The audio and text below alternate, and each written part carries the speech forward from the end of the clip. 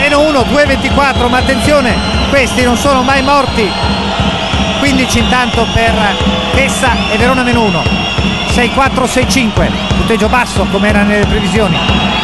Rodney continua a palleggiare, anche qui cambio difensivo, prova ad accelerare in faccia alla wall, parabola alta, non va, Buccevici sul rimbalzo, vi apre su Malaventura che non esita a tirare da 3.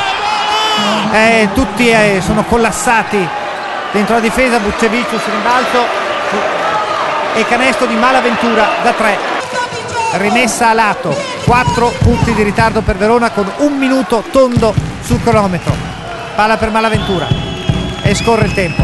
Più 4 Casale che vuole giocare chiaramente al limite dei 24, anzi dei 14 perché zona attacco, 7 per il tiro. Bucchevicius, Malaventura resiste al ritorno dell'avversario, prova a scaricare da 3 punti. Malaventura si porta a casa la qualificazione. 11 punti e io l'ho detto, chirurgici 6-6, 7-3, 47 secondi a giocare. Chiama per forza, time out, Ramagli. Bisogna toglierci il cappello di fronte a queste due triple di Malaventura e quella di Ware, perché quella di Ware poi ha fintato due volte. No, Malaventura, cioè si vede proprio il giocatore di esperienza, non ha più sbagliato, e da no. quando è cominciato in Granada ha più sbagliato. Sì, e ha tirato sempre con le mani in faccia perché uno potrebbe pensare. L'ultima, solo l'ultima era libero, ma Beh, ci stava. Uno potrebbe pensare alla cattiva difesa di Verona, invece Zenis ha difeso fino in fondo.